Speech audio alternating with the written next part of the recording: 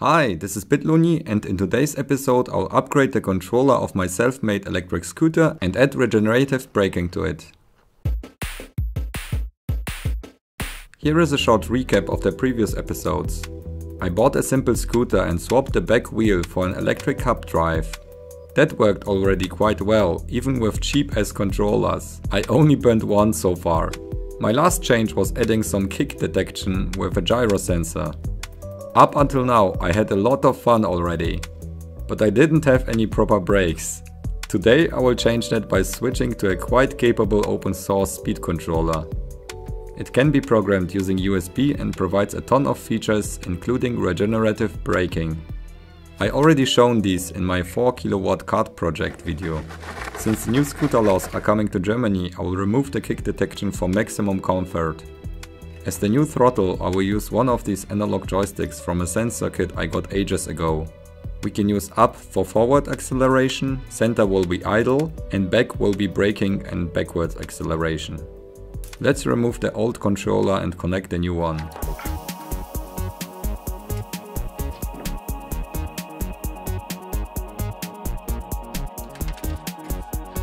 The ESC also supports Hall sensors. These, as well as the analog inputs, need to be connected using 2mm pin pitch JST connectors. You can find some links to the parts below. Once we are finished with all the wiring, we need to connect it to batteries to be able to program it. The programming tool can be get for free from the VESC project site. The newer version has a wizard that lacks a comparable motor to mine. You should really be careful with the limits that you set.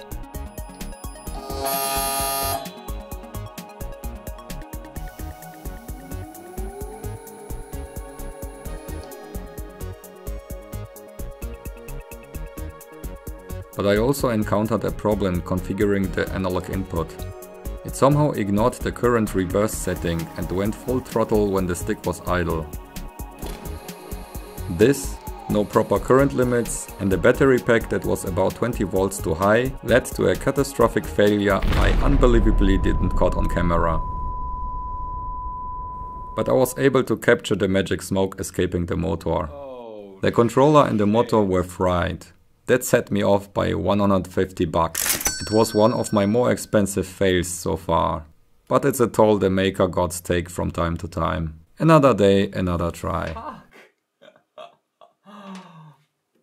I bought replacements for the motor and the controller and got the controller even cheaper from another brand. Soldering all the connectors and wires takes always ages.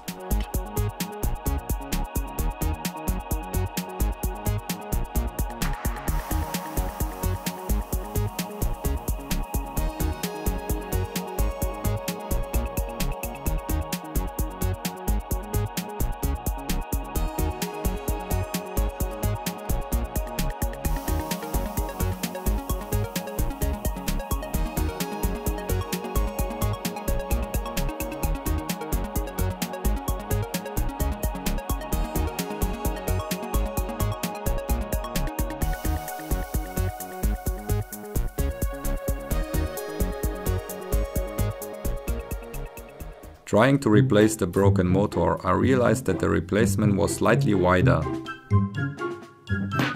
No. Nothing that can't be fixed with some precision tools.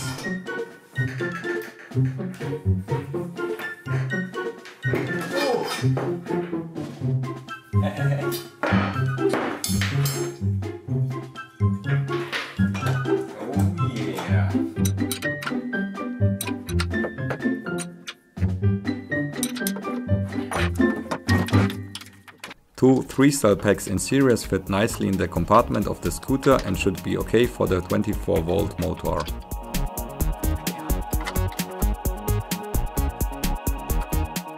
Only thing left to do is to connect and tidy up everything.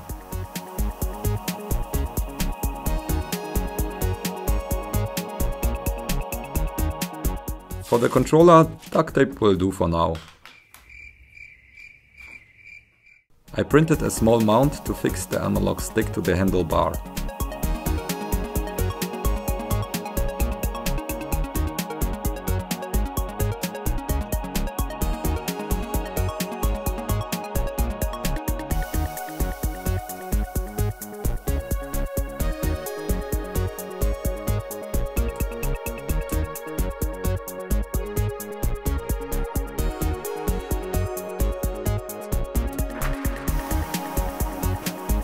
Now it's time to configure it. I started testing with a 15 amps limit and 10 amps for braking. There are several settings that also help protecting the batteries. That's also an improvement. The current reverse center setting seems to work fine this time. After a short test I increased the current limits to 30 and 20 amps to get faster acceleration and braking.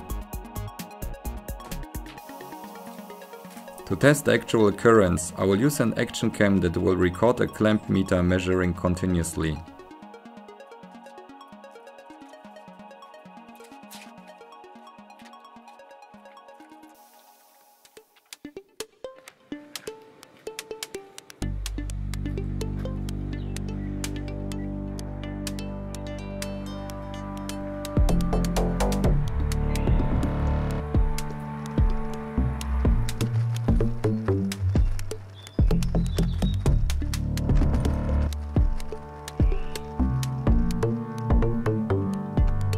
During acceleration the controller takes up to about 25 amps from the battery.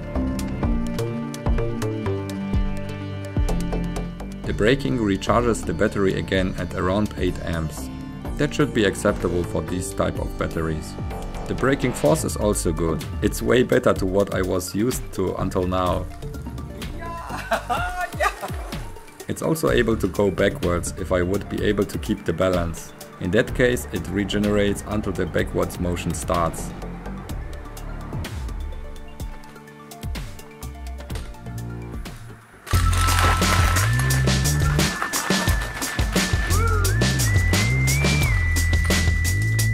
I like the improvements and I'm still the coolest kid on my street. Maybe even cooler since I also can go backwards now. Yeah! I hope you liked it, check out the links in the description if you need parts for your own experiments and consider subscribing for future projects. See you next time, bye!